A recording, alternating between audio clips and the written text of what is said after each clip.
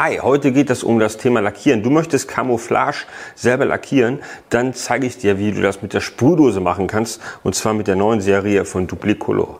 Insgesamt habe ich hier acht verschiedene Farben und ich glaube, damit bekommst du so einiges an Mustern hin. Ich möchte dir zeigen, wie das Ganze geht. Ich habe mir nämlich anfangs auch die Frage gestellt, wie bekomme ich diesen Look hin? Äh, Gehe ich mit einer Sprühdose lang und, und sprühe so, klebe ich das irgendwie so ab und sprühe dann rüber. Es gibt verschiedene Wege, um ans Ziel zu kommen und davon zeige ich dir heute mal zwei. Ich würde sagen, nach dem Intro geht's los und ich wünsche dir ganz viel Spaß dabei.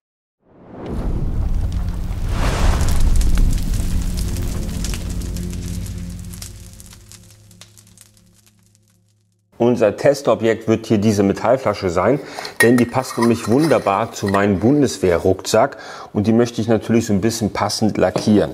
Äh, es gibt jetzt hier acht unterschiedliche Dosen, die ich habe, da kommen wir später nochmal drauf zu. Und wenn du Videos suchst, wie du beispielsweise Kunststoff lackieren kannst, wie du Metall lackieren kannst oder Holz oder Hochglanz lackieren kannst, dann schau doch mal in die Videobeschreibung, da werde ich dir alle Videos dazu verlinken. Denn das habe ich nämlich über die Jahre ja, gemacht und ein paar Videos darüber äh, erstellt. So, um diesen äh, Camouflage-Look zu erzielen, gibt es mehrere Möglichkeiten. Eine Möglichkeit ist davon, es gibt solche Bögen. Und äh, das sind so Klebebögen, da kannst du dir diese Flecken rausholen und kannst die dann auf die Flasche kleben. Und Stück für Stück kannst du dann dieses Ziel dir ähm, ja, lackieren oder sprühen oder du machst das Ganze selber. Und dazu nimmst du dir am besten sehr, sehr gutes Abklebeband. Ich habe jetzt hier Frog Tape verwendet. Es gibt auch andere gute Hersteller, beispielsweise 3M. Äh, ich hatte das das letztens für mehrere Projekte gehabt.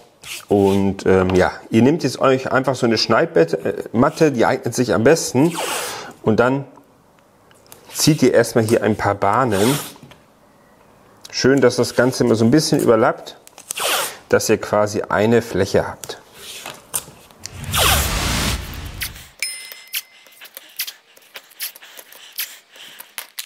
Im Anschluss nehmt ihr euch ein äh, Filzstift oder ein Edding und malt euch die Flecken, die ihr haben wollt, einfach auf. Ihr könnt natürlich jetzt ganz, ganz große malen oder kleine, so wie ihr möchtet.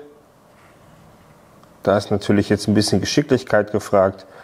Und natürlich solltet ihr das Ganze so machen, dass das ähm, ja nicht so wirklich verschwenderisch ist. Ne? Also hier könnt ihr auch noch mal was malen. Und ich merke gerade, das ist gar nicht so einfach. Ihr könnt natürlich euch mal hier so Muster hinstellen und äh, das versuchen so ein bisschen abzuskizzieren. So, das sollte jetzt erstmal genügen. Danach nehmt ihr euch ein Skalpell oder ein scharfes Cutter und geht bei und schneidet das Ganze aus.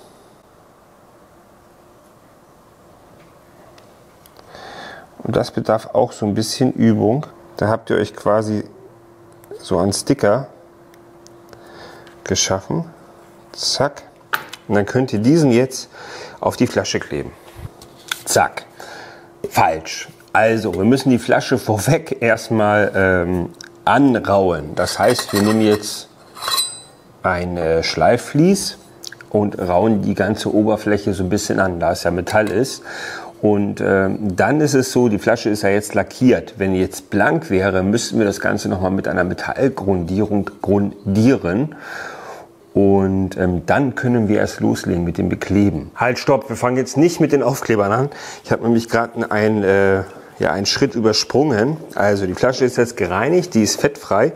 Wir stopfen jetzt hier einfach mal ein, äh, einen alten Lappen rein, denn wir wollen ja nicht, dass der Inhalt der Flasche mit äh, Sprühnebel ausgesetzt wird. So. Und jetzt lackieren wir die Flasche erstmal mit den hellsten Farbton. Das heißt, wenn du jetzt äh, deine, deinen Camouflage-Look sehr dunkel gestalten willst, dann nimmst du einfach diesen hellsten Ton von deinen dunklen Dosen, die du jetzt verwenden möchtest. Ich möchte mich einmal querbeet ähm, durchsprühen, beziehungsweise ich nehme jetzt mal, ja, was nehme ich denn? Ich nehme einmal das hier, einmal das hier, einmal dieses helle mm, und das braune. Ich nehme jetzt mal diese vier Dosen hier und wir fangen mit den hellsten an. Das ist nämlich dieser Ton hier. Ich weiß jetzt leider die Farben nicht, aber die stehen auch drauf, beziehungsweise ich werde euch die mal unten in der Videobeschreibung verlinken. Und beim Lackieren solltet ihr natürlich zwei Dinge beachten. Einmal eine Atemschutzmaske zu tragen. Das zweite, das Ganze in gut belüfteten Räumen zu machen, wenn nicht sogar draußen. Das ist wirklich ganz, ganz wichtig. Dann tragt ihr ähm, ganz sachte in Abstand von 20 bis 30 Zentimeter die Farbe auf. Weniger ist hierbei mehr. Lasst das Ganze mal kurz ablüften für eine halbe Stunde und dann könnt ihr das Ganze nochmal auftragen, bis ihr mit der Farbschicht zufrieden seid. So könnten wir die theoretisch lassen. Nein, das ist einfach nur die Grundbasis. So, und jetzt habe ich mich dafür entschieden, ich will das Ganze mal mit diesen Aufklebern machen.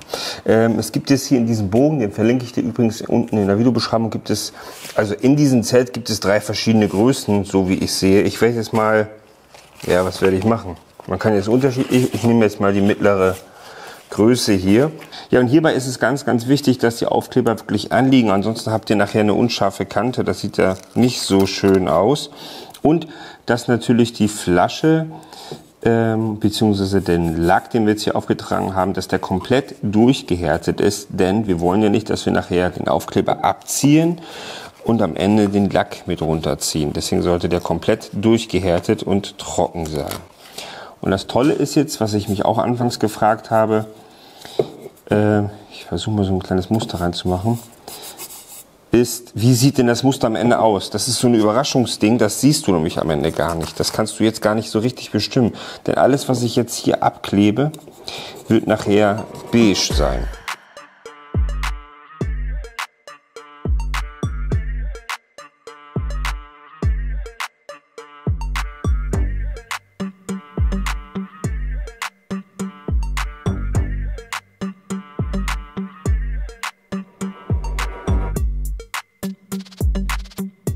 Und am Ende habe ich mich nochmal am Skapell dran getraut und habe mir so ein paar äh, Camouflage-Muster selber äh, hergestellt. Die haben am Anfang des Videos schon erwähnt. Und so sieht das ganze Muster aus. Das ist jetzt hier eine Metallplatte und ähm, ja, wenn man größere Flächen abkleben möchte oder abdecken möchte, ist das wirklich eine sehr, sehr feine Sache. Und mein Fläschchen sieht jetzt so aus, richtig cool gelungen. Man sieht natürlich jetzt hier viel ähm, beige, weil ich am Anfang sehr, sehr viel beige abgeklebt habe. Ihr könnt natürlich auch beige weglassen oder das minimieren und äh, weniger Sticker raufkleben und vielleicht ein bisschen mehr grün. Das ist dann euch selbst überlassen. Auf jeden Fall hat das Ganze sehr, sehr gut funktioniert, muss ich sagen. Ihr müsst aber bedenken, gibt den Ganzen wirklich Zeit. Das heißt, wenn ihr eine Farbe auftragt, lasst bitte dazwischen einen Tag Trocknungszeit. Ganz, ganz wichtig. Ansonsten kriegt ihr nachher ein böses Überraschen. So, ich würde sagen, wenn euch das Video gefallen hat, lasst einen Handwerker-Daumen nach oben da. Hier sind die nächsten zwei Videos. Vielleicht sind sie auch für dich interessant. Ansonsten sehen wir uns beim nächsten Video. Jeden Freitag um 19 Uhr kommt ein neues Video von mir raus. Demnächst werde ich mich nämlich dran machen an Fenster und Türen und Rollläden. Da geht es nämlich um das Thema Wartung. Ähm, ja, alles zum Thema Handwerk. Bis zum nächsten Video. Ciao.